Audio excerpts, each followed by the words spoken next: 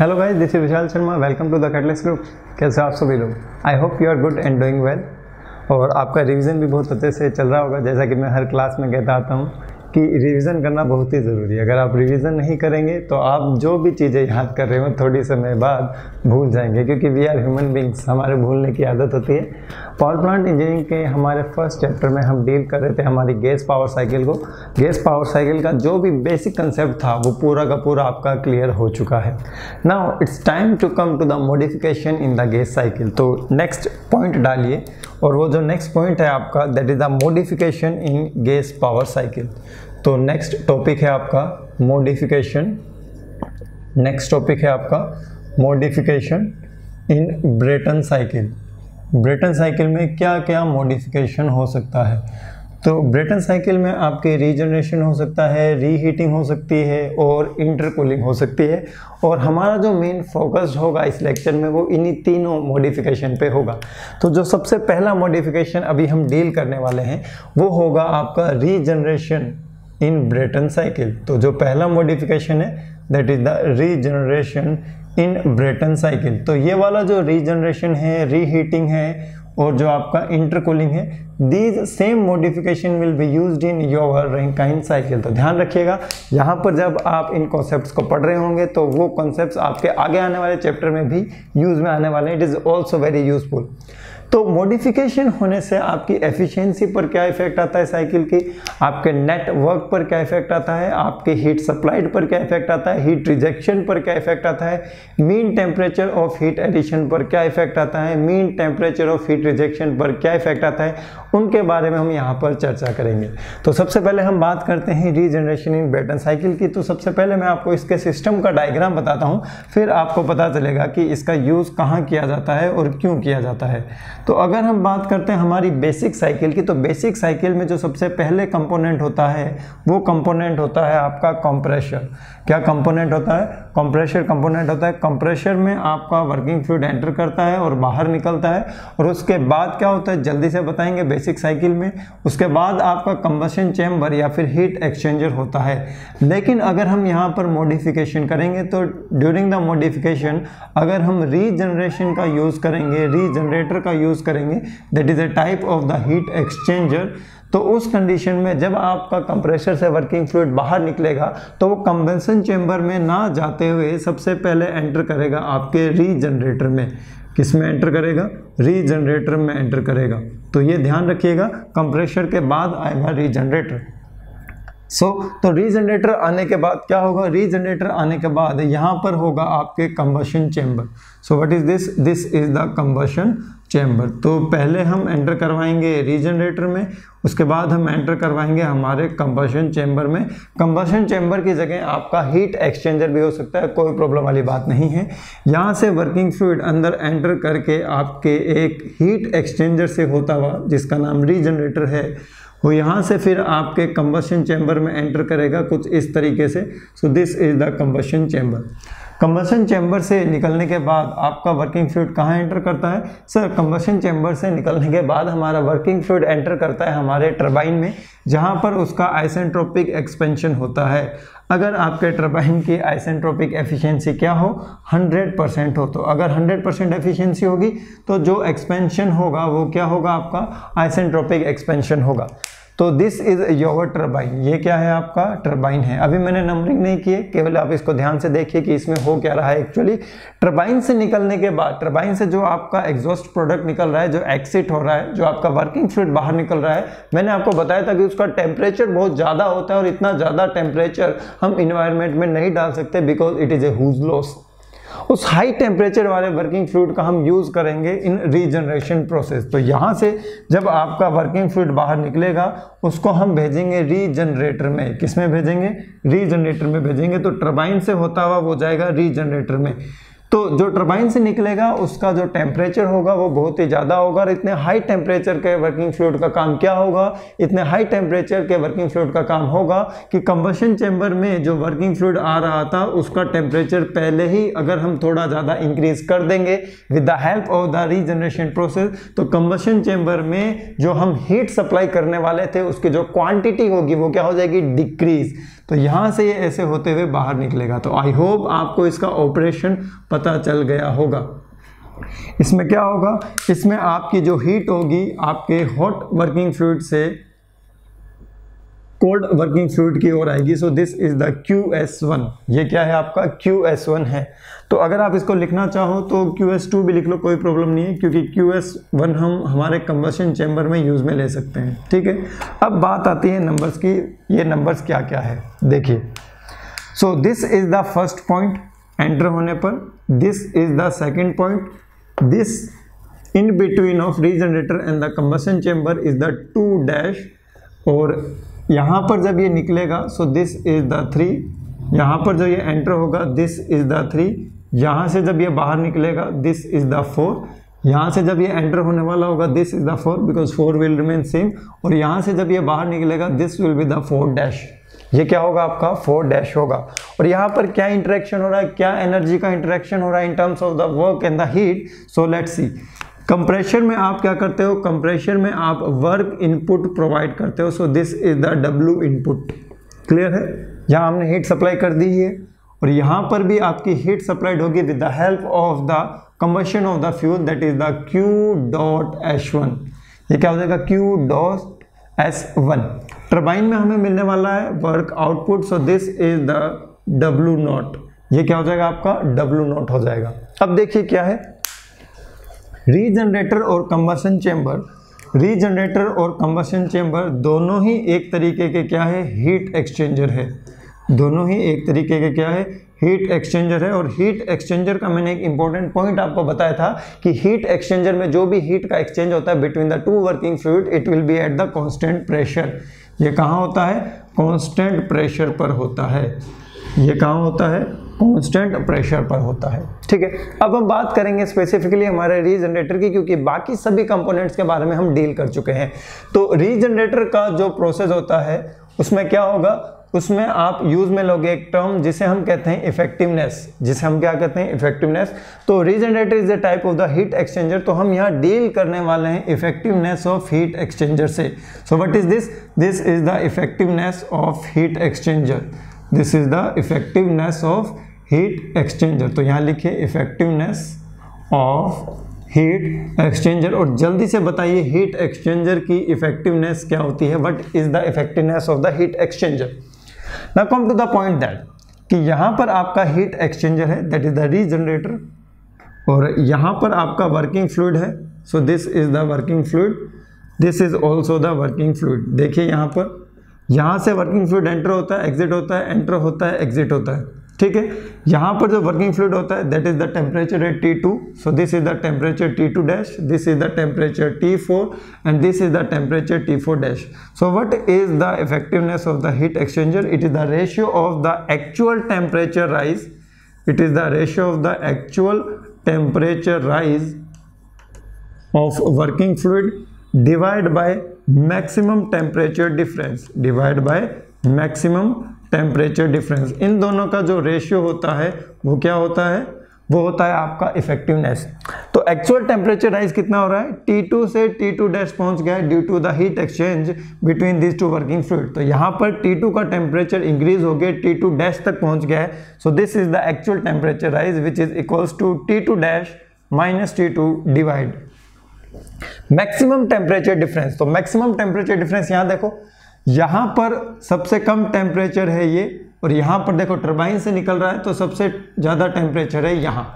Across the heat exchanger across the heat exchanger जो minimum temperature है, वो है आपका T2 two so this is the minimum temperature और जो मैक्सिमम टेम्परेचर है, वो है आपका T4 so this is the maximum temperature so what will be the maximum temperature difference so this will be the maximum minus minimum which is equals to T4 T four minus T two इस फॉर्मूले को रटने की कोशिश मत करना, बिल्कुल basic concept लगाना, तब आपको ये जो फॉर्मूला है वो याद हो जाएगा।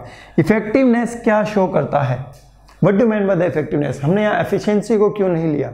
हमेशा हीट एक्सचेंजर की परफॉर्मेंस को इफेक्टिवनेस से मेजर किया जाता है कि वो कितना इफेक्टिवली अपनी परफॉर्मेंस को परफॉर्म कर रहा है। उसका जो फ़ंक्शन है, उसकी जो फंक्शनैलिटी है, वो कितने अच्छे से परफॉर्म की जा रही है। That will be determined with the help of the effectiveness of the heat exchanger और जो यहाँ पर जो हम हीट एक्सचेंजर यूज़ में ले रहे हैं, उसकी जो इफेक्टिवनेस होगी जनरली इसकी जो वैल्यू होती है, वो होती है 0.7 टू 0.8 और जो आइडियल कंडीशन होगा इन आइडियल कंडीशन ये तो एक्चुअल कंडीशन के लिए है।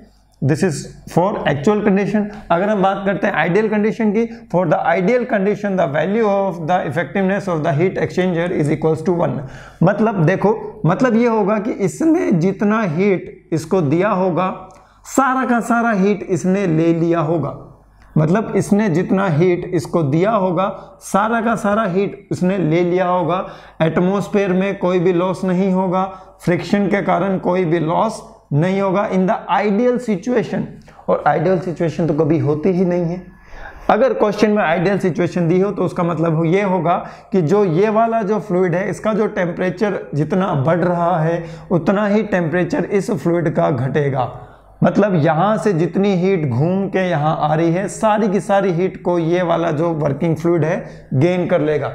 मतलब जितनी हीट रिजेक्ट होगी, उतना ही हीट क्या होगा? गेन हीट रिजेक्ट कहाँ हो रही है? यहाँ हो रही है। तो यहाँ हो रही है हीट का रिजेक्शन यहाँ क्या हो रहा है? हीट का रिजेक्शन और हीट का गेन कहाँ हो रहा है? यहाँ। यहाँ क्या हो रहा है? हीट का गेन तो ध्यान रखिएगा आइडियल कंडीशन में अगर इफेक्टिवनेस की जो वैल्यू है, अगर वो वन है तो इन दैट केस जो हीट रिजेक्शन होगा, वो किसके इक्वल होगा? हीट गेन के इक्वल होगा। तो यहाँ तक कोई प्रॉब्लम नहीं से कोई प्रॉब्लम नहीं है, काफ़ी इजी है, ठीक है? अब हम बात करते हैं इसके टीएस डायग्राम की। तो टीएस डायग्राम जब आप इसको देखोगे, तब आपको सारी चीज़ें समझ में आने लग जाएगी, ठीक है? तो परफॉर्मेंस क्या होता है? परफॉर्मेंस होती है इफेक्टिवनेस परफॉर्मेंस क्या होती है? इफेक्टिवनेस की कितना इफेक्टिवली परफॉर्म कर रहा है? अगर मैं आपसे पूछूँ, आपकी परफॉर्मेंस क्या है? तो आप मुझे बताएँगे कि मेरी इतनी सिटिंग कैपेसिटी है। मतलब मैं इतने घंटे तक बैठ के कंटिन्यूसली पढ़ सकता हूँ। सेम एज अगर हम बात करते हैं हीट एक्सचेंजर की तो कितना इफेक्टिवली परफॉर्म कर सकता है? उसे हम कहते हैं इफेक्टिवनेस उसे हम क्या कहते हैं? इफेक्टिवनेस कहते हैं। Now come to the T S diagram तो टी एस डायग्राम बनाने के लिए सबसे पहले ग्राफ प्लॉट कीजिए। So this is the T axis and this is the S axis so this is the temperature entropic curve this is the temperature entropic curve और देखिए, यहाँ पर होगा आपका सबसे पहले compression so this is the one and this one is the two ये क्या है आपका वन है और ये क्या है आपका टू ये हो रहा है आपका आइसेंट्रोपिक कंप्रेशन जिसमें हम वर्क इनपुट कर रहे हैं आपके कंप्रेशर को. उसके बाद क्या होगा? Heat addition at the constant pressure because of that temperature will be increase from the two to two dash at the constant pressure तो ये कांस्टेंट प्रेशर लाइन है। So this is the constant pressure line और यहाँ पर two से two dash तक in the regeneration process आपका क्या होगा? टेम्परेचर इंक्रीज तो सपोज़ यहाँ तक टेम्परेचर इंक्रीज हो रहा है तो ये टू से टू डैश तक हम पहुँच गए। So this is the two dash ये क्या है आपका? टू डैश है। कोई प्रॉब्लम यहाँ तक? नहीं सर, कोई प्रॉब्लम वाली बात नहीं है।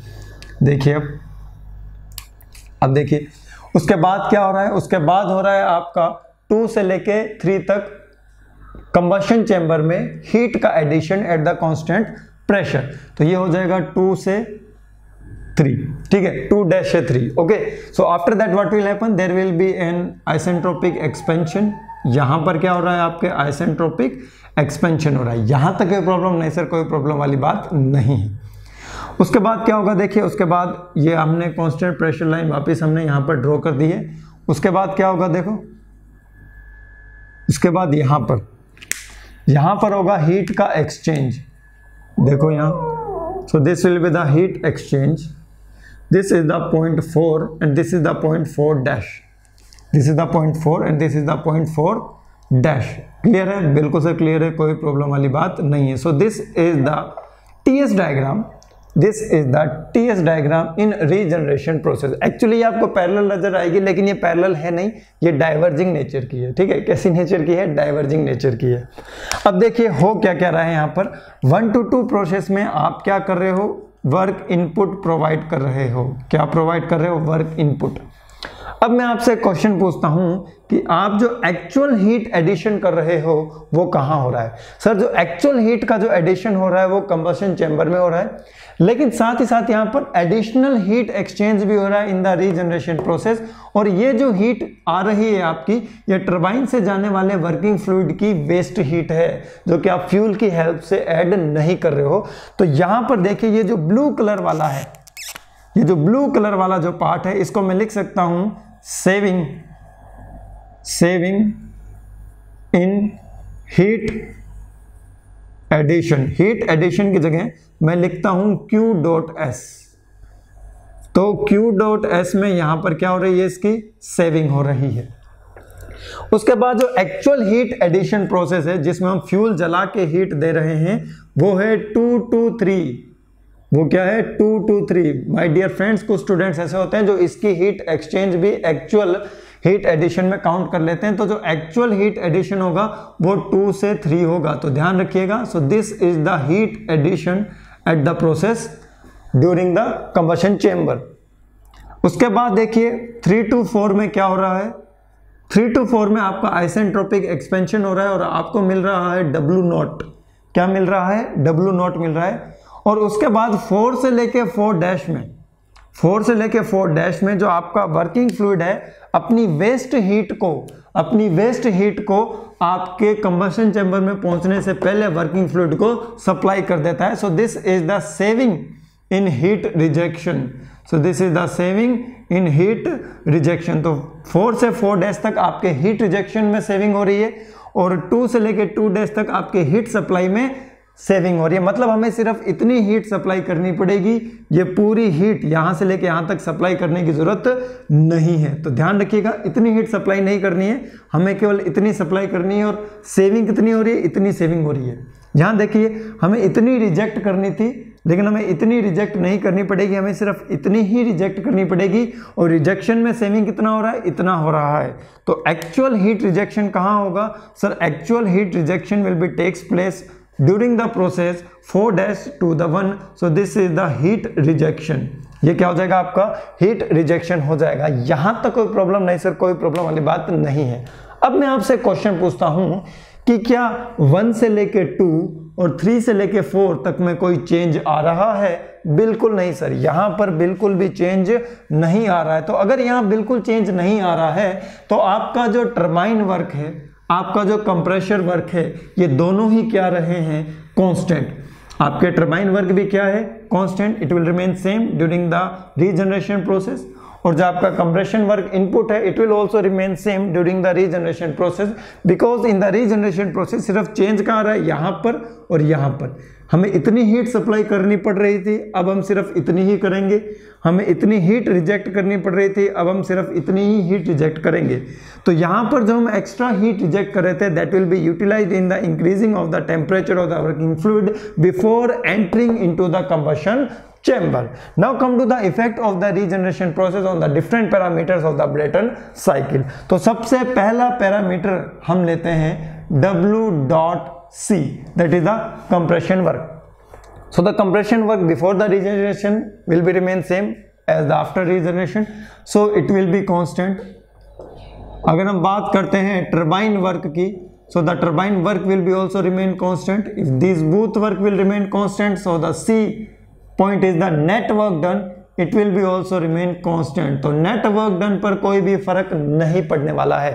So there will be no effect on the net work done now come to the C point D point sorry so D point is what that is the heat supplied so heat supplied will be decreases जो आप heat supplied कर रहे थे, वो decrease हो जाएगी। पहले इतनी कर रहे थे, अब सिर्फ़ इतनी ही करेंगे। समझ आ रहा है ना? पहले इतनी कर रहे थे, अब सिर्फ़ इतनी ही करेंगे। तो ये चीज़ आपको यहाँ पर क्लियर होनी चाहिए। Now come to the E point that is the heat rejection so heat rejection भी पहले हम ज़्यादा कर रहे थे, अब हम कम करेंगे।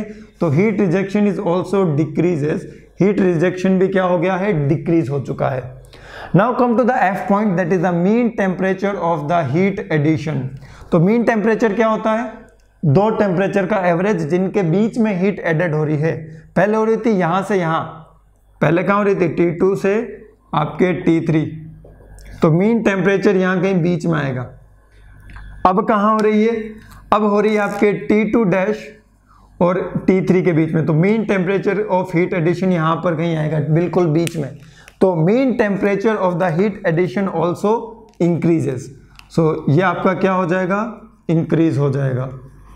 अगर हम बात करते हैं डी पॉइंट की that is the mean temperature of the heat rejection पहले देखो रिजेक्शन का टेम्परेचर कहाँ था? ये वन और ये फोर ले लो। So this is the four so this is the four this is the one इन दोनों का एवरेज यहाँ कहीं आएगा? So this is the average of the four comma one ठीक है? अब आ रहा है फोर डैश तो ये फोर डैश मान लो यहाँ। अब this is the four dash और वन और फोर डैश का एवरेज कहाँ आएगा? यहाँ। So this is the four dash comma one पहले mean temperature of heat rejection यहाँ था। अब mean temperature of heat rejection यहाँ पर है। तो ये क्या हो रहा है? Decrease so it will be decreases mean मतलब average mean temperature of heat rejection will be decreases now come to the efficiency efficiency पर क्या इफ़ेक्ट आता है? What is efficiency sir efficiency is equals to one minus mean temperature of the heat rejection divide by mean temperature of the heat addition clear? If the mean temperature of the heat rejection will be decreases, then this whole value, negative value will be decreases. Same as if the mean temperature of the heat addition will be increases then this whole value negative value will be decreases if this whole negative value will be decreases then the efficiency of the cycle will be increases आपकी cycle की efficiency क्या हो जाएगी increase हो जाएगी efficiency को और कैसे हम देख सकते हैं देखो what is eta eta is equals to net work done eta is equals to net work done divided by heat supplied किसी भी पैरामीटर को आप उठा के एफिशिएंसी का एनालिसिस कर सकते हो। So if the heat supplied will be decreases then what will happen it will be increases जहाँ तक प्रॉब्लम कोई प्रॉब्लम नहीं है। चलो हीट रिजेक्शन हीट एडिशन वाले से करते हैं। So what is eta eta is one minus Q R divide by Q S one minus Q dot R divide by Q dot S Q dot R Q dot S दोनों क्या हो रही है बताओ? मीन टेम्परेचर तो हमने कर लिया, हमने ये क्यू ये वाला भी कर लिया डब्ल्यू नेट और क्यू डॉट एस अब हम कर रहे हैं Q dot R divide by Q dot S so the rejection rejection क्या हो रहा है? डिक्रीज रिजेक्शन भी क्या हो रहा है? डिक्रीज और यहाँ देखो हीट सप्लाइड भी क्या हो रही है? डिक्रीज हो रही है। क्या आप यहाँ से प्रेडिक्ट कर सकते हो कि एफिशिएंसी पर क्या इफ़ेक्ट आएगा? Heat supplied is also decreases heat rejection will be all decreases तो यहाँ से हम प्रेडिक्ट नहीं कर पाएँगे कि कौन कितना डिक्रीज हो रहा है।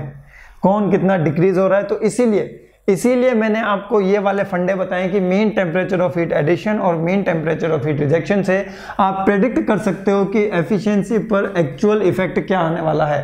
ठीक है तो यहाँ से हमें पता चलता है कि because of the regeneration process because of the regeneration process the efficiency so ये एफ़ आ गया ना A B C D F ये जी था sorry this is the H efficiency will be increases efficiency क्या हो जाएगी आपकी? इंक्रीज हो जाएगी। तो ये पैरामीटर्स हैं, वो आपके एग्जामिनेशन में पूछे जा सकते हैं which of the following statements are correct regarding the regeneration process in the Brayton cycle regeneration process अगर हम करेंगे ब्रेटन साइकिल में तो क्या क्या इफ़ेक्ट हो सकते हैं? ना come to the point that क्या हमें रीजनरेशन करना चाहिए या नहीं करना चाहिए? तो रीजनरेशन करना चाहिए या नहीं करना चाहिए, ये हम पता कैसे लगाएँ? इसका पता लगाने के लिए हम क्या करते हैं? रीजनरेशन प्रोसेस में प्रेशर रेशियो को इंक्रीज करते हैं। क्या करते हैं? रीजनरेशन प्रोसेस में प्रेशर रेशियो को इंक्रीज करते हैं और फिर हम देखते हैं कि आपके कंप्रेशर के एग्जिट पर टेम्परेचर और आपके टर्बाइन के एग्जिट पर टेम्परेचर पर क्या इफ़ेक्ट आता है? अब हम देखने वाले हैं कि रीजनरेशन करनी चाहिए या नहीं करनी चाहिए। क्लियर है ना?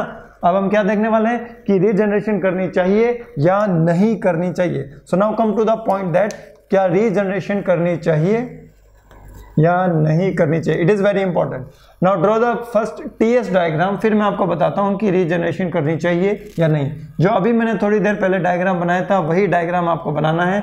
So this is the process one two two so this is the three process इसको थोड़ा सा आगे बढ़ाओ और इसको नीचे लेके आओ, ठीक है?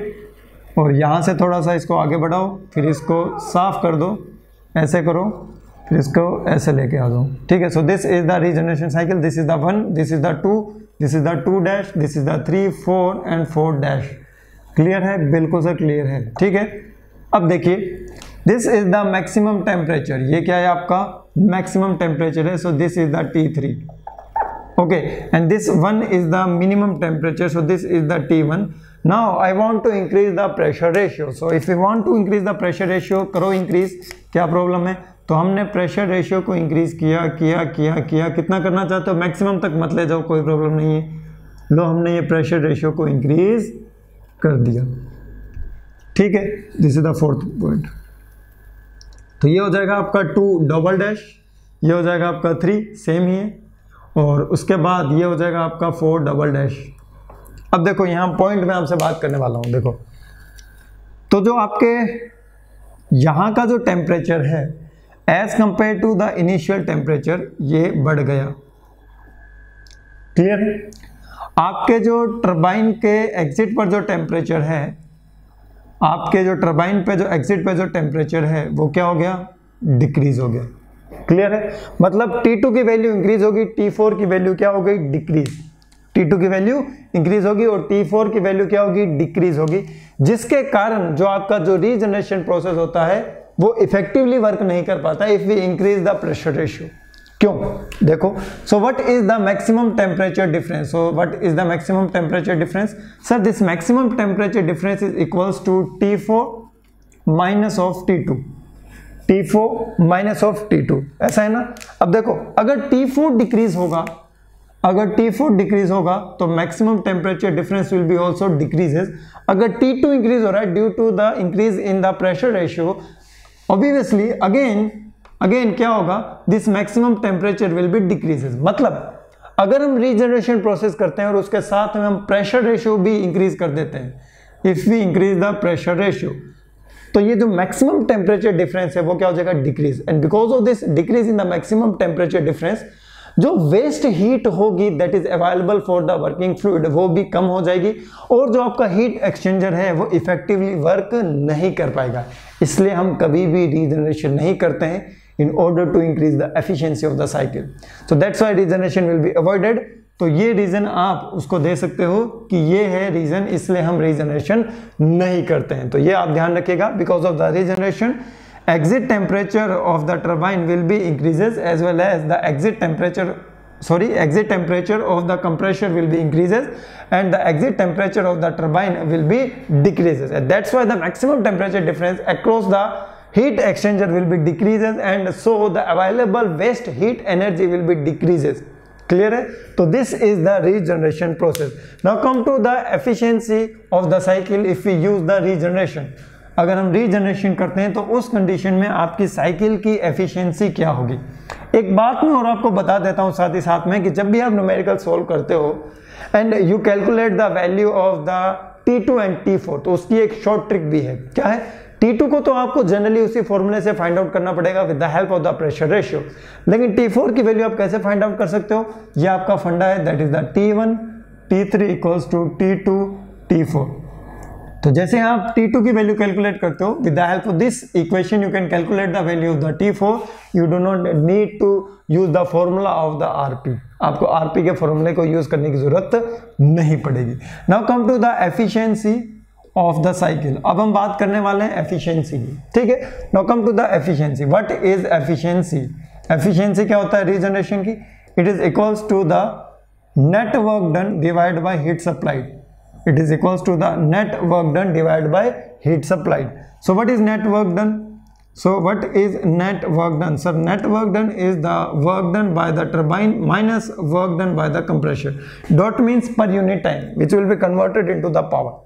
So w dot t equals to m dot cp t3 minus t4 w dot c equals to m dot cp T2 minus T1. They both will remain same during the regeneration process. Now come to the heat supply. Q dot S is equals to, Q dot S हो रहा है आपके two dash और three वाले process में so this is equals to M dot C P T three minus T two dash T three minus T two dash यहाँ तक कोई प्रॉब्लम नहीं सर कोई प्रॉब्लम वाली बात नहीं है बिल्कुल सिंपल चीज़ है ये अब हम बात करते हैं आइडियल रीजनरेशन की। किसकी बात करते हैं? आइडियल रीजनरेशन की। क्यों? क्योंकि यहाँ तो हम एजम्पन्स ले रहे हैं और एजम्पन हम इसलिए ले रहे हैं ताकि हमारा जो डेरिवेशन है वो सिंपल हो जाए। तो आइडियल रीजनरेशन में क्या होगा? Effectiveness of the heat exchanger will be equals to one which means the gain in heat gain of heat is equals to heat rejection is equals to heat rejection what is the gain of the heat that is equals to T2 dash minus T2 and this value will be equals to what? It is equals to T4 minus T4 dash. It is equals to T four minus T four dash clear है? बिल्कुल sir clear है, कोई problem वाली बात नहीं है। ठीक है? तो इस कंसेप्ट को समझने के लिए हम एक डायग्राम ड्रॉ कर देते हैं तो कोई प्रॉब्लम नहीं है। देखो this is the diagram of the heat exchanger तो यहाँ पर आपका फ्लूड फ्लो हो रहा है। So this is the flowing fluid this is also the flowing fluid working fluid ठीक है? तो यहाँ पर आपके एंटर होता है टू पर, यहाँ पर आपके निकलता है टू डैश पर, यहाँ निकलता है फोर पर और यहाँ निकलता है फोर डैश पर। ये हीट को रिजेक्ट करता है और ये हीट को गेन करता है। जितना टेम्परेचर इसका डिक्रीज होगा, उतना ही टेम्परेचर इसका इंक्रीज हो जाएगा। एंड फाइनली जो यहाँ के जो टेम्परेचर होंगे, वो आपस में क्या हो जाएँगे? Equal for the ideal regeneration process the value of the T two dash will be equals to T four किसके इक्वल हो जाएगा? टी फोर मतलब इसका टेम्परेचर इंक्रीज होते होते कितना पहुँच जाएगा? T4 के इक्वल पहुँच जाएगा। तो हम इस T2 डैश को किससे रिप्लेस कर सकते हैं? T4 से in case of the ideal regeneration process so this Q dot S is nothing it is equals to M dot C P T three minus of the T four ये क्या हो जाएगा? T three minus of the T four बस हमारे पास ये सभी values हैं और हमें ये वाली वैल्यूज़ इस फॉर्मूले में क्या करनी है? पुट करनी है। तो कर दीजिए पुट कोई प्रॉब्लम नहीं है। देखिए ईटा क्या होगा? W dot net divide by Q dot S so eta with regeneration will be equals to W dot net which is equals to W T minus W C तो ये दोनों values हैं। तो m dot C P multiply with T three minus T four minus M dot C P T two minus T one divide by heat supplied that is equals to M dot C P इसको हमने change कर दिया है T three minus T four में so this is equals to T three minus of T four क्या हो जाएगा ये T three minus of T four यहाँ तक कोई प्रॉब्लम नहीं सर कोई प्रॉब्लम नहीं है। देखिए इसको हम और सॉल्व करते हैं. M dot C P will be cancelled out ये आपस में cancelled out so this will be equals to one minus T two minus T one in bracket divide by T three minus T four T three minus T four यहाँ तक कोई problem नहीं sir अब common लेने वाली चीज़ आती है. Common क्या लें सर यहाँ पर? इस इक्वेशन को हमें थोड़ा सा और सिंप्लीफाई करना है। तो कॉमन हमें वो चीज़ लेनी है जो कांस्टेंट रहती है that is the T one and the T three हम किसको कॉमन लेंगे? कांस्टेंट को कॉमन लेंगे। तो देखिए ये क्या होता है? This value will be equals to one minus one minus यहाँ से ऊपर से मैं कॉमन ले रहा हूँ टी वन और नीचे से मैं कॉमन ले रहा हूँ टी थ्री तो ब्रैकेट में क्या बचेगा देखो? ब्रैकेट में बचेगा T two divide by T one minus one और यहाँ क्या बचेगा? One minus T four divide by T three one minus T four divide by three three. यहाँ तक कोई संदेह? बिल्कुल सर, कोई संदेह नहीं है। अब T two divide by T one को आप कॉमन ले सकते हो। बिल्कुल सर, ले सकते हैं। One minus T one divide by T three, इसको अलग रहने दीजिए। ऊपर से मैं कॉमन लेता हूँ, T two divide by T one. तो जब मैंने ऊपर से कॉमन ले लिया T two divide by T one तो यहाँ क्या बचेगा? देखो, यहाँ बचेगा वन, यहाँ बचेगा T one divide by T two. यहाँ क्या बचेगा? One minus T four divide by T three. Clear है? बिल्कुल सर क्लियर है। यही फंडा यूज़ में लो। हमें किसकी वैल्यू चाहिए? T one divide by T two. So T one divide by T two will be equals to what T four divide by T three. T four divide by T three, दोनों में से minus one कर दो। ये लो, minus one equals to minus one. या फिर one में से माइनस कर दो तो भी कोई प्रॉब्लम नहीं है। वही चीज़ आएगी। One minus equals to one minus अब आप यहाँ से देख रहे हो one minus T one divide by T two one minus T one divide by T two will be equals to one minus T four divide by T three one minus T four divide by T three simplify बिल्कुल. देखो this will be equals to one minus what is T one sir T one is the T minimum what is T three sir T three is the T maximum T3 is what? T3 is the T maximum. ये तो आपस में cancel out हो ही गए. T2 divide by T1 is the क्या होता है ये? Pressure ratio raise to power gamma minus one divide by gamma तो ये क्या हो जाएगा? आर पी ऊपर आ जाएगा, ध्यान रखना। Gamma minus one divide by gamma so this is the value of the ideal efficiency of the regeneration process this is the value of the ideal efficiency of the regeneration process तो ये formula आपको याद रखना है।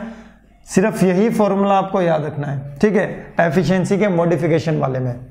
तो one minus T minimum divide by T maximum multiply with R P that is the pressure ratio raise to power gamma minus one divide by gamma तो ये formula आपको याद रखना है।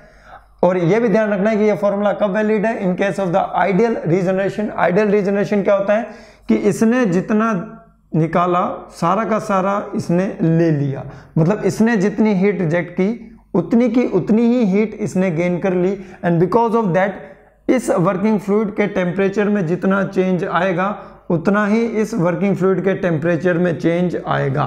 मैं टेम्परेचर चेंज की बात कर रहा हूँ मतलब इसका जितना टेम्परेचर इंक्रीज होगा, उतना ही मैग्नीट्यूड में इसका टेम्परेचर डिक्रीज होगा।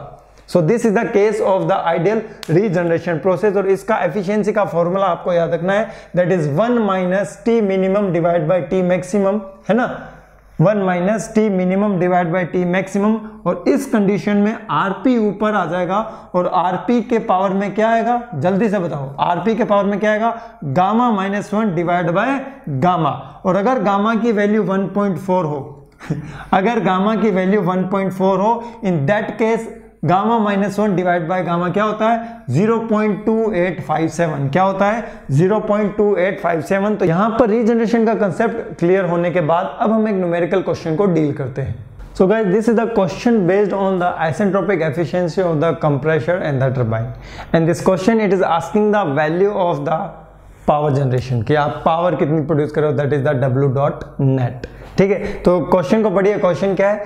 A gas turbine has a pressure ratio of the 10 so we will write also data given in this question so the pressure ratio is given in the question is equals to 10 so value of the RP is 10 and the maximum temperature of the cycle that is the T three is equals to seven degree Celsius which means it is nine hundred and seventy three the isentropic efficiency of the turbine So isentropic efficiency of the turbine is 0.85 and the isentropic efficiency of the compressor is 0.82. So this is the value of the NC and the NT. Calculate the power output of an electric generator which is coupled to the turbine when air enter into the system at the 15 degree Celsius at a rate of the 15 kg per second. तो अब आपको क्या given है question में question में आपको given है T1 का value so the value of the T1 is equals to 15 degree Celsius which means 288 kelvin and the value of the mass flow rate is equals to 15 kg per second so it is 15 kg per second. Now pause the video and solve this question. So most of the guys uh, एक गलती करने वाले हैं और वो गलती मैं बता देता हूँ। एक ये cp की वैल्यू है एक यहाँ पे cp की वैल्यू है और यहाँ पे गामा की वैल्यू है और यहाँ पर गामा की वैल्यू है। तो कंप्रेशन प्रोसेस के लिए कंप्रेशर में अलग वैल्यूज़ है और एक्सपेंशन प्रोसेस के लिए टर्बाइन के लिए अलग वैल्यू है। तो यहाँ पर गलती हो सकती थी तो आई होप किसी ने भी गलती नहीं होगी। की होगी, क्योंकि मैंने स्पेशली मेंशन कर रखा है कि कंप्रेशन के लिए अलग वैल्यू है एक्सपेंशन के लिए अलग वैल्यू है। Now come to the T2 value हमें T2 की वैल्यू को सबसे पहले कैलकुलेट करना है तो यहाँ से आपको पता भी चल जाएगा। एक क्वेश्चन मैंने आपको पहले दिया था, जिसमें मैंने आपको एफिशिएंसी कंसीडर करने के लिए कहा था तो यहाँ से भी आपको पता चल जाएगा कि एक्चुअल टेम्परेचर हम कैसे कैलकुलेट करते हैं। So this T two is equals to T one multiply with R P raise to power gamma minus one divide by gamma तो बस हमें यहाँ पर वैल्यूज़ पुट करनी है और क्वेश्चन को सोल्व करना है। So this T1 is equals to what ये T1 किसके इक्वल है? So this T1 is equals to 288 kelvin तो कैलविन हटाओ। RP is the pressure ratio ten raise to power gamma minus one divide by gamma अब gamma कौन सा ले? Gamma हम लेंगे कंप्रेशन वाला। सो दैट इज़ 1.4 तो ये हो जाएगा आपका 0.2857 क्या हो जाएगा? 0.2857 and if you solve this you will get the value of the T two you will get the value of the T two is equals to five five six point something five five six point zero two five five six point zero two kelvin so this is the value of the T two ये किसका value है? T two का value है. And with the help of the formula of the isentropic efficiency of the compressor we can calculate the value of the T two dash तो T two dash क्या होगा देखिए? So this T two dash will be equals to it is equals to T two minus T one T two minus T one that is the ideal temperature rise divide by isentropic efficiency of the compressor isentropic efficiency of the compressor plus T one So plus T1. So what is T2 dash? It is equals to T2 that is the 556.02 minus of T1 that is the 2 288 divided by eta of c that is equals to 0.82 0.82 plus t1 and the value of the t1 is equals to 288 ये क्या हो जाएगा 288 from here you will get the value of the T two dash equals to 614.85 Kelvin. So this is the value of the T2 dash which will be considered for the calculation of the compression work.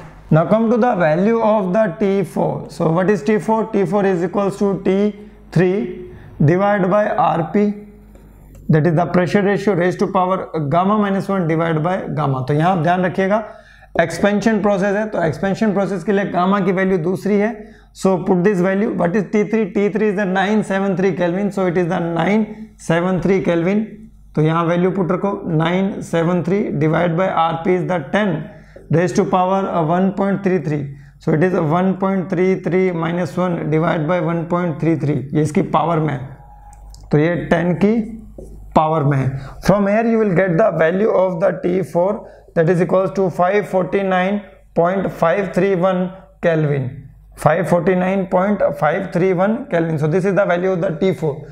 From this T4 value, you will get the value of the T4 dash by considering the isentropic efficiency of the turbine. So with the help of T4, calculate the value of the T4 dash which will be equals to T3 minus eta of turbine. Okay. Multiply with the T3 minus T4. So this T4 dash will be equals to what? T3. What is the T3? 973 kelvin minus eta of turbine turbine is 0.85 0.85 multiply with 973 minus 549.531 kelvin so from here you will get the value of the T four dash which will be equals to 612.98 kelvin one approximately ठीक है? तो calculation आप देख लीजिएगा। ये मैं थोड़ा सा मेरा मेमोरी डाटा के हिसाब से आपको आंसर बताने की कोशिश कर रहा हूँ। So this is the value of the T two dash and this is the value of the T four dash which will be use in the calculation of the W T and W C so remaining theme I am going to rub तो ये चीज़ें आप लिख लीजिए एक बार कि T3 की वैल्यू T4 की वैल्यू T4 डैश और T2 डैश की वैल्यू क्या होगी। तो मेरे को जो चाहिए वो मैं लिख लेता हूँ।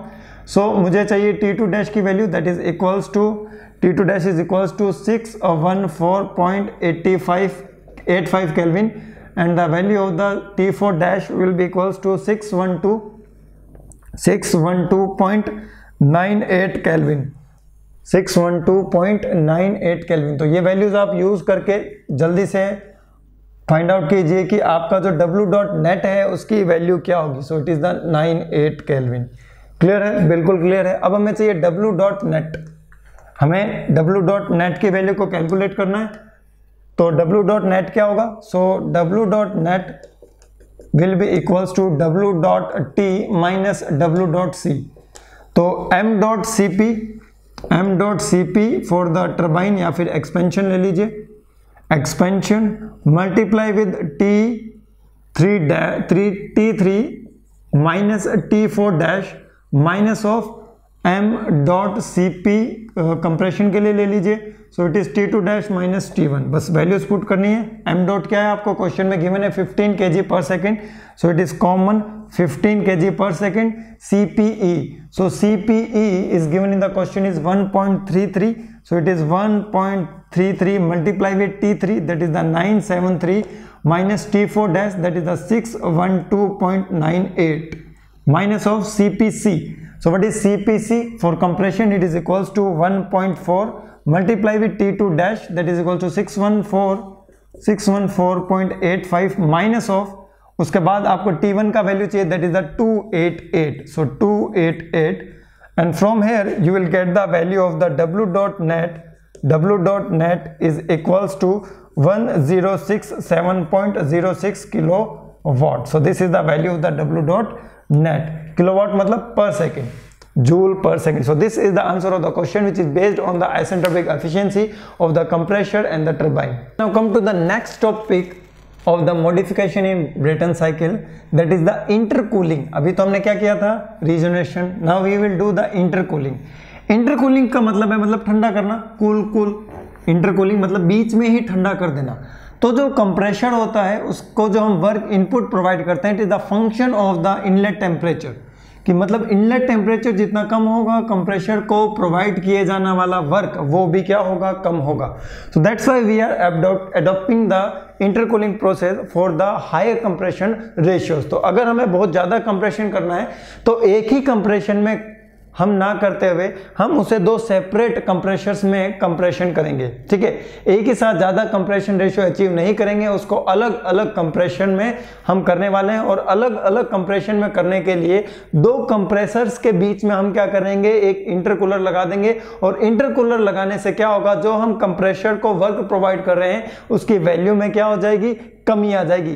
तो जो वर्क इनपुट होगा that will be reduce because of the intercooling process now write down the next point और नेक्स्ट पॉइंट क्या है आपका? वो है इंटरकूलिंग तो हम करने वाले हैं अब इंटरकूलिंग क्या करने वाले हैं? इंटरकूलिंग तो इंटरकूलिंग कैसे करेंगे? इंटरकूलिंग हम करेंगे दो कंप्रेशर्स के बीच में। किसके बीच में? दो कंप्रेशर के बीच में। पहले होगा आपका लो प्रेशर कंप्रेशर और उसके बाद होगा आपका हाई प्रेशर कंप्रेशर तो पहले कंपोनेंट देखते हैं। कंपोनेंट्स क्या क्या होते हैं, फिर आपको उसे पता चलेगा। So this is your first compressor तो ये है आपका लो प्रेशर कंप्रेशर ठीक है? यहाँ पर आपका वन नंबर पर एंटर हो रहा है टू नंबर पर एग्जिट हो रहा है और उसके बाद है यहाँ पर intercooler so this is the intercooler first ये क्या है आपका? इंटरकूलर ये क्या है आपका? इंटरकूलर और इसको मैं नाम दे रहा हूँ आपका suppose I C one so this is the I C one intercooler के बाद आपका एक और कंप्रेशर होगा। तो उस कंप्रेशर में भी हम क्या करेंगे? कंप्रेशन करेंगे। And that compressor is the high pressure compressor so this is the high pressure compressor high pressure compressor में एंटर होने के बाद वो आपका हाई प्रेशर में कन्वर्ट हो जाएगा और वो एग्जिट होगा और एग्जिट होने के बाद वो जाएगा आपके कंबशन चैम्बर में, जिसे हम हीट एक्सचेंजर भी कह सकते हैं। So this is the heat exchanger so this is the heat exchanger clear है? बिल्कुल सर क्लियर है। हीट एक्सचेंजर के बाद आपका वो जाता है टर्बाइन में। किसमें जाता है? टर्बाइन में जहाँ पर उसका क्या होता है? आइसेंट्रोपिक एक्सपेंशन टर्बाइन में क्या होता है? Isentropic expansion so this is the turbine तो ये है आपका टर्बाइन टर्बाइन में होगा आपके आइसेंट्रोपिक एक्सपेंशन हाई प्रेशराइज्ड और हाई टेम्परेचर वर्किंग फ्लूड का. So this is the turbine turbine के बाद उस वर्किंग फ्लूड को वापस यूज़ करने के लिए हम उसे भेज देते हैं आपके एक और इंटरकूलर में. So this is the intercooler number two I C two I C two के बाद हम सेम वर्किंग फ्लूड को वापस कंप्रेशर के अंदर भेज देते हैं फॉर द फर्दर ऑपरेशन उसी ऑपरेशन को वापस कैरी आउट करने के लिए, ठीक है? तो आई होप आपको सारे कंपोनेंट क्लियर हो गए होंगे। अब मैं मार्किंग कर देता हूँ। So this is the two और उसके बाद है आपके ये वाला पार्ट थ्री उसके बाद है ये वाला पार्ट फोर उसके बाद है ये वाला पार्ट आपके फाइव इसके बाद पार्ट है ये सिक्स और इसके बाद क्या है ये one so one to two से थ्री थ्री से फोर और उसके बाद क्या होगा? फोर से फाइव होगा और फिर फाइव से सिक्स होगा और सिक्स से वापस क्या होगा? वन होगा। So this is the intercooling process in your ideal Brayton cycle ये क्या हो जाएगा आपका? आइडियल ब्रेटन साइकिल हो जाएगा। अब अगर हम इसका डायग्राम देखते हैं तो सबसे पहले हम अगर इसका डायग्राम देखेंगे, तभी हमें समझ आएगा कि एक्चुअल में हो क्या रहा है। देखो। So this is your diagram पहले हम देखते हैं टी एस डायग्राम को। किस डायग्राम को? टी एस डायग्राम को। क्लियर है? जब हम टीएस डायग्राम को देखते हैं तो पहली चीज़ मन में ये क्वेश्चन आना चाहिए कि why we are providing the intercooler suppose आपको वन बार प्रेशर से 40 बार प्रेशर तक जाना है। कितना जाना है? 40 बार प्रेशर तक जाना है। तो इस कंडीशन में आप क्या क्या करोगे? 40 मतलब आप ले लीजिए वन बार से आप जा रहे हो फोर एंड सिक्सटीन बार तक जा रहे हो suppose you are going to the sixteen bar pressure and you are using the compressor of the pressure ratio of four so आपका प्रेशर रेशियो क्या है? फोर है. तो आप क्या करेंगे? डायरेक्ट वन से सिक्सटीन नहीं जाएँगे. आप जाएँगे पहले वन से फोर फोर से सिक्सटीन आप क्या जाएँगे? पहले वन से फोर और फिर फोर से क्या जाएँगे? सिक्सटीन जाएँगे. इस कंडीशन में क्या होगा? देखिए, अगर आप डायरेक्ट वन से सिक्सटीन जाते हो और आप वर्क कैलकुलेट करते हो कंप्रेशर को जो दिया है और आप अगर इस तरीके से जाते हो और वर्क कैलकुलेट करते हो जो कंप्रेशर को दिया है तो इस कंडीशन में जो आप इस डिफरेंट डिफरेंट स्टेजेस में जा रहे हो, उसमें work required as compare to the single stage क्या होगा? कम होगा। तो इंटरकूलिंग करने से work input to the compressor decrease हो जाता है। और ये कैसे डिक्रीज होता है? जब हम पीवीटीएस डायग्राम बनाएँगे, तब वो चीज़ें आपको अच्छे तरीके से समझ आएगी।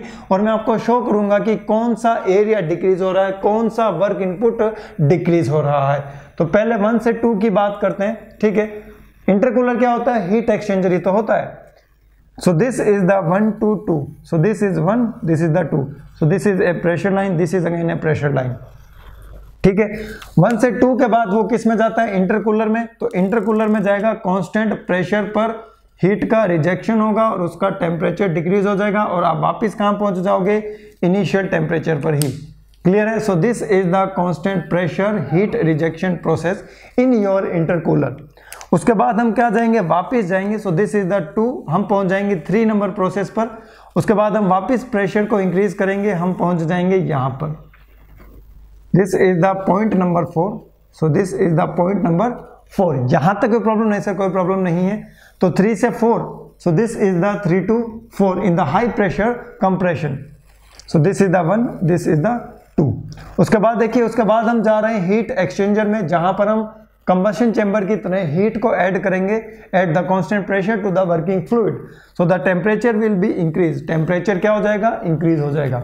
अब देखो, यहाँ पर अब हम पहुँच जाएँगे। फोर के बाद क्या आ रहा है? देखो फाइव आ रहा है। So this is the five process five number state of the working fluid उसके बाद क्या आ रहा है? टर्बाइन में। टर्बाइन में क्या होगा? Isentropic expansion so this is the six तो इस तरीके से हम जाएँगे। वन से टू फिर टू से थ्री फिर थ्री से फोर फिर फोर से फाइव फिर फाइव से सिक्स अब देखो क्या क्या हो रहा है। यहाँ देखो। सो लो प्रेशर कंप्रेशर में हम वर्क इनपुट प्रोवाइड कर रहे हैं W C one W C one so what is this one to two process so one to two process में हो रहा है आपका डब्ल्यू सी वन क्या हो रहा है? डब्ल्यू सी वन यहाँ नहीं लिखना. So this is the W C one उसके बाद इंटरकूलर में क्या हो रहा है? इंटरकूलर में हो रहा है हीट का रिजेक्शन इंटरकूलर में क्या हो रहा है? हीट का rejection that is the Q R one ले लो इसको. कोई प्रॉब्लम नहीं है. इंटरकूलर में क्या हो रहा है? हीट का रिजेक्शन तो हीट आ रही है सिस्टम से बाहर। That is the Q R one उसके बाद वापस हम हाई प्रेशर कंप्रेशन में जा रहे हैं। हाई प्रेशर कंप्रेशन में क्या हो रहा है? यहाँ पर भी आइसेंट्रोपिक कंप्रेशन हो रहा है और यहाँ हम वर्क दे रहे हैं डब्ल्यू सी टू क्या दे रहे हैं? W C two so this is the three two four process जिसमें आइसेंट्रोपिक कंप्रेशन हो रहा है, जहाँ हम दे रहे हैं डब्ल्यू सी टू क्या दे रहे हैं? डब्ल्यू सी टू उसके बाद हम हीट एक्सचेंजर में जा रहे हैं और हीट एक्सचेंजर में जाने के बाद हम हीट की सप्लाई कर रहे हैं at the constant pressure so this is the Q dot S सबके ऊपर डॉट है। सबके ऊपर डॉट है, ठीक है? डॉट कंसिडर कर लेना per unit time so all are having the per unit time तो फोर से फाइव प्रोसेस में इन योर हीट एक्सचेंजर क्या हो रहा है? हीट की सप्लाई हो रही है। So this is the Q dot S ये क्या हो जाएगी आपकी? क्यू डॉट एस हो जाएगा। उसके बाद फाइव टू सिक्स में फाइव टू सिक्स में हम टर्बाइन में so this is the five five to six में हम किसमें टर्बाइन में। तो टर्बाइन में हमें क्या मिलेगा? टर्बाइन में हमें मिलेगा work output so this is the W T W dot T तो टर्बाइन में हमें क्या मिलेगा? W dot T so this is the W dot T उसके बाद six to one six to one में क्या हो रहा है? जल्दी से बताओ। सिक्स टू वन में क्या हो रहा है? Heat rejection at the constant pressure तो यहाँ पर भी heat rejection to the environment before entering into the low pressure compressor at the constant pressure so this is the Q R two so यहाँ पर हो रहा है आपके क्यू आर डॉट टू हो रहा है। क्लियर है? बिल्कुल से क्लियर है, कोई प्रॉब्लम वाली बात नहीं है। अब मैं इसका पीवी डायग्राम बनाता हूँ तो ये डायग्राम आप अपने सामने रखिएगा और उसके रेफरेंस से देखिएगा कि पीवी डायग्राम में क्या हो रहा है। उसके रेफरेंस से देखिएगा कि पीवी डायग्राम में क्या हो रहा है। क्लियर है? बिल्कुल से क्लियर है। ठीक है? अब देखिए, हम बनाते हैं पीवी डायग्राम तो प्रेशर और वॉल्यूम डायग्राम का जो रिलेशन है, मैंने आपको पहले ही बता दिया था किसमें स्लोप पॉजिटिव होता है, किसमें स्लोप नेगेटिव होता है। Now come to the PV diagram ये क्या है आपका पीवी डायग्राम अब मैं मॉडिफिकेशन में पहली बार पीवी डायग्राम बनाने वाला हूँ। रीजनरेशन में मैंने कोई भी पीवी डायग्राम नहीं बनाया था। तो कोई दिक्कत नहीं है। वन से टू का प्रेशर देखो। तो मैं यहाँ पर तीन प्रेशर लाइन ड्रॉ कर देता हूँ। So this is the first this is the second and this is the third so this is the pressure P one this is the pressure P two and this is the pressure P three ये क्या हो जाएगा आपका pressure P three not P one okay pressure P2 P2 and P three are the same तो ये हो जाएगा आपका पी फोर ये क्या हो जाएगा आपका पी फोर हो जाएगा। P four and P five अब देखो। एक तीन प्रेशर लाइन ड्रॉ कर लेना, बन जाएगा। तो कहीं भी वन नंबर पॉइंट ले लो, मैं यहाँ पर ले लेता हूँ वन नंबर पॉइंट वॉल्यूम बहुत ज़्यादा है, हमें उसका कंप्रेशन करना है। So this is the one to two isentropic compression ये क्या हो जाएगा? One to two isentropic compression one to two isentropic compression होने के बाद कांस्टेंट प्रेशर पर हीट का रिजेक्शन होगा। So this is the constant pressure heat rejection process ये क्या हो जाएगा? Constant pressure heat rejection process so this is the point number three ये क्या हो जाएगा? Point number three two to three हो गया. अब थ्री टू फोर क्या है? Isentropic compression again isentropic compression so the pressure will be increases volume will be decreases so this is the three to four ये क्या हो जाएगा? Three to four P two will be equals to P three P two will be equals to what P three फिर four से five में क्या होगा? Four से फाइव में क्या होगा? जल्दी से बताओ। फोर से फाइव में constant pressure heat addition four से फाइव में क्या होगा? कांस्टेंट प्रेशर हीट एडिशन तो हम यहाँ पर फोर से फाइव में कर रहे हैं constant pressure heat addition so this is the point number five constant pressure heat addition five से सिक्स में क्या होगा?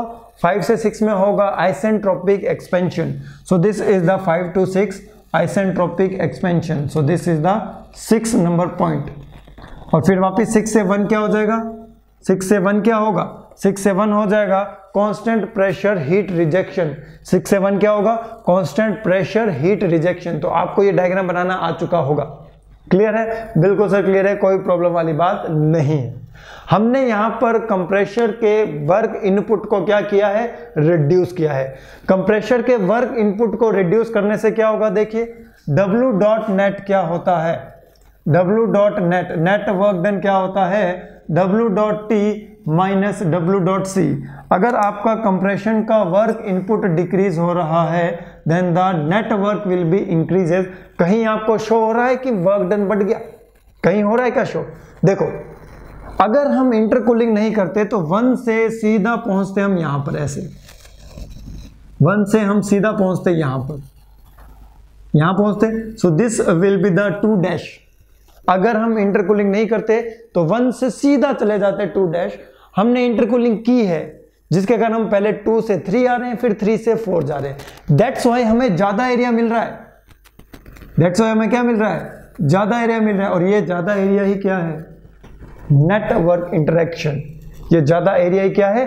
नेटवर्क इंटरेक्शन में होने वाला इंक्रीमेंट ये ज़्यादा एरिया ही क्या है? आपके नेटवर्क में कितनी वृद्धि हुई है, कितना इंक्रीमेंट हुआ है, कितना इंक्रीज हुआ है? This is the increase area अगर हम अगर हम वापस ध्यान से सुन लो, अगर हम इंटरकूलिंग नहीं करते तो हम इस रास्ते से जाते। हम इंटरकूलिंग कर रहे हैं, इसलिए हम थोड़ा इधर खिसके because of the intercooling at the constant pressure and after that we will do the compression and because of that the area of the PV diagram will be increases and it will show the increase in the net work done by the system इस cycle में net work done में जो increase हो रहा है ये आपके PV diagram में जो इंक्रीज हो रहा है एरिया उसके द्वारा शो हो रहा है तो आई होप यहाँ पर आपको इंटरकूलिंग का ये जो कंसेप्ट है ये क्लियर हो चुका होगा ठीक है बिल्कुल सही है कोई प्रॉब्लम वाली बात नहीं है यहाँ पर कंप्रेशन वर्क डिक्रीज हो जाता है नेट वर्क इंक्रीज हो जाता है। लेकिन देखिए यहाँ पर यहाँ पर हीट सप्लाई इंक्रीज हो जाती है। यहाँ पर हीट की सप्लाई क्या हो जाती है? इंक्रीज क्यों हो जाती है? जल्दी से बताओ ग्राफ में देखो और जल्दी से मुझे बताओ कि हीट की सप्लाई इंक्रीज क्यों होती है जब तक मैं रब करता हूँ। हीट की सप्लाई इंक्रीज क्यों होती है? देखो, क्योंकि अगर मैं अगर मैं अगर मैं, वहीं वैसा ही बता रहा हूँ, अगर मैं आपका इंटरकूलिंग नहीं करता तो ऐसे जाता। जाता या नहीं जाता? बिल्कुल आइसेंट्रोपिक कंप्रेशन कर देता, यहाँ पहुँच जाता टू डैश और आप हीट सप्लाई करते इतनी सी। करते कि नहीं करते? बिल्कुल सर करते। क्योंकि मैंने इंटरकूलिंग की है तो मुझे हीट सप्लाई करनी पड़ रही है इतनी सॉरी। अगर मैं इंटरकूलिंग नहीं करता तो ये सीधा मैं यहाँ पहुँचता। और सीधा पहुँचने के कारण यहाँ से यहाँ तक हीट की क्या होती? सप्लाई होती। लेकिन अब क्या हो रहा है? अब मैं यहाँ पहुँच रहा हूँ। पहले तो ऊपर गया थोड़ा सा फिर नीचे उतरा फिर थोड़ा सा ऊपर गया अब मैं नीचे पहुँच रहा हूँ। अब यहाँ से यहाँ पर हीट की सप्लाई करनी पड़ रही है। तो पहले तो करनी पड़ रही थी इतनी थी। अब इंटरकूलिंग के, कर, के कारण करनी पड़ रही है इतनी। तो इसके कारण क्या हो रहा है? हीट सप्लाइड भी इंक्रीज हो रही है। Heat supplied will be also increase तो आप यहाँ लिखो heat supplied will be also increase क्या हीट रिजेक्शन पर इफ़ेक्ट आ रहा है? बिल्कुल सर। अगर मैं इंटरकूलिंग नहीं करता तो मुझे इतनी हीट रिजेक्ट करनी पड़ती। So this is the amount will be heat rejected without intercooling लेकिन अब क्या हो रहा है? इंटरकूलिंग करने के कारण इंटरकूलर में भी हीट रिजेक्ट करनी पड़ रही है। दो जगह हीट रिजेक्ट हो रही है। So this is the Q dot R one this is the Q dot R two तो जो हीट रिजेक्शन है, वो भी क्या हो रहा है? Increase so heat rejection is also increases heat rejection भी क्या हो रहा है? इंक्रीज हो रहा है. Now come to the mean temperature of the heat addition and mean temperature of the heat rejection तो ये देखो this is the minimum this is the maximum ये है आपका mean temperature so this is the minimum this is the maximum ये है आपका mean temperature so this is with intercooling ये है ना इंटरकूलिंग इसका बीच वाला. और दिस विदाउट इंटरकूलिंग तो mean temperature of heat addition क्या हो रहा है? जल्दी बताओ। Mean temperature of the heat addition decrease mean temperature of heat addition will be decreases mean temperature of the heat addition will be decreases और अगर ये डिक्रीज हो गया तो उस कंडीशन में क्या होगा? हम ये प्रेडिक्ट नहीं कर पाएँगे कि एफिशिएंसी इंक्रीज हो रही है या डिक्रीज क्योंकि ऐसा ही कुछ इफ़ेक्ट आपको मिलने वाला है mean temperature of the heat rejection में. क्या मिलने वाला है? Mean temperature of the heat rejection इन दोनों का मीन निकालो, इन दोनों का मीन निकालो, फिर वापस मीन निकालो तो आपका जो mean temperature of the heat rejection है इट विल बी ऑल्सो जल्दी से बताओ mean temperature of the heat rejection it will be also decreases addition भी डिक्रीजेस और आपका जो रिजेक्शन है, ये भी डिक्रीजेस तो आप कैसे प्रेडिक्ट करोगे? देखो, ईटा क्या होता है? Eta will be equals to w dot net divided by q dot s w dot net, q dot s, ये भी इंक्रीज ये भी इंक्रीज दोनों कितना कितना इंक्रीज पता नहीं लगा सकते। ईटा क्या होता है? One minus mean temperature of the heat rejection, mean temperature of the heat addition. दोनों डिक्रीज पता नहीं लगा सकते। ईटा क्या होता है? अब कोई पता लगा सकते हैं तो मुझे बताना कि कैसे पता लगा सकते हैं। One minus Q dot S वाला ये लेते हैं। Q dot R divide by Q dot S, दोनों ही इंक्रीज, कैसे पता लगाओगे? हम इन तीनों से पता नहीं लगा सकते हैं कि इंटरकूलिंग के कारण आपकी जो एफिशिएंसी है वो इंक्रीज होगी या डिक्रीज। तो फिर हम क्या करें? हम करते हैं प्रैक्टिकल। हम क्या करते हैं? प्रैक्टिकल हम पावर प्लांट में जाते हैं। कहाँ जाते हैं? पावर प्लांट में। और पावर प्लांट में जाने के बाद हम प्रैक्टिकल करते हैं और देखते हैं कि इंटरकूलिंग से एफिशिएंसी इंक्रीज होती है या फिर डिक्रीज होती है। तो जैसे ही हम पावर प्लांट में गए इंटरकूलिंग वाला हमने पावर प्लांट डाला और जैसे ही हमने उस पर वर्क करने लगे तो हमने ये देखा कि इंटरकूलिंग के कारण एफिशिएंसी डिक्रीज होती है। थियोटिकली पता नहीं लगा सकते हैं, इसलिए हमें क्या करना पड़ेगा? प्रैक्टिकल तो यहाँ देखो कंसेप्ट है। इंटरकूलिंग इंटरकूलिंग करने से क्या होता है? कुछ नहीं होता। इंटरकूलिंग करने से डब्ल्यू डॉट नेट इंक्रीज होता है। बट एफिशिएंसी का कैसे पता लगाएँ? तो एफिशिएंसी का पता लगाने के लिए हमने किया प्रैक्टिकल और प्रैक्टिकल करने से हमने ये पाया, ये हमने पाया, ये हमने ऑब्ज़र्व किया कि because of this intercooling efficiency of the cycle will be decreases आपके साइकिल की जो एफिशिएंसी होती है, वो क्या हो जाती है? डिक्रीज हो जाती है। Now come to the next point that that is the W net that is the W net divide by mass flow rate ये क्या देगा आपको? ये देगा आपको डब्ल्यू डॉट नेट ये क्या देगा आपको? डब्ल्यू डॉट नेट देगा। यहाँ तक कोई प्रॉब्लम नहीं सर कोई प्रॉब्लम वाली बात नहीं है। तो जब भी आप इंटरकूलिंग प्रोसेस करते हो, जब भी आप इंटरकूलिंग प्रोसेस करते हो, जो आपको मास फ्लो रेट जो रिक्वायर्ड होता है ना इट विल बी डिक्रीज्ड जो मास फ्लो रेट रिक्वायर्ड होता है ना it will be decrease and because of that W dot net will be increase मतलब आपके प्लांट का साइज़ क्या हो जाता है? रिड्यूस हो जाता है। ध्यान से सुनना। जब भी हम इंटरकूलिंग करते हैं तो जो मास फ्लो रेट रिक्वायर्ड होता है ना, ये जो मास फ्लो रेट है that will be in the K G per second it will be decrease in intercooling process अगर ये डिक्रीज हो गया तो आपका जो पावर प्रोड्यूस हो रहा है, आपका जो पावर प्रोड्यूस हो रहा है per second it will be increase क्यों? क्योंकि ये डिक्रीज होगा तो ये पर सेकेंड वाला इंक्रीज हो जाएगा ना। It will be in the joule it will be in the K G per second तो ये किसमें आएगा बताओ? ये किसमें आएगा? जल्दी से बताओ। डब्ल्यू डॉट नेट ये होगा आपका जूल पर के जी ठीक है? तो केजी से केजी कैंसिल आउट तो joule per second it will be kilo watt तो मतलब इंटरकूलिंग का यूज़ करने से जो आपका मास फ्लो रेट रिक्वायर्ड है in order to generate the one kilo watt power it will be reduced and because of this reduction size of the plant will be reduces because it will handle the less mass flow rate of the working fluid तो ये आपके क्या होते हैं intercooling के effect होते हैं तो ये चीज़ आपको यहाँ पर याद रखनी पड़ेगी इस क्लास को मैं यहीं पर होल्ड करता हूँ फिर मिलेंगे हम हमारे नेक्स्ट क्लास में तब तक के लिए bye take care best of luck